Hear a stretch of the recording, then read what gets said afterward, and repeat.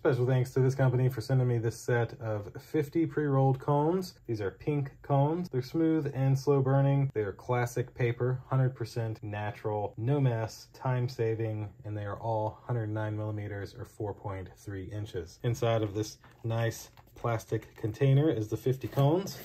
Take our top off and then pull out two at a time essentially. Remove the little straw that keeps them neat and you have two pre-rolled cones that are ready to go. You're able to just drop in your tobacco, twist the top, and you can make your own cigarettes in just a few moments. So thanks again to this company for sending these to me. Thank you all for watching. We'll see you in the next one. Deuces.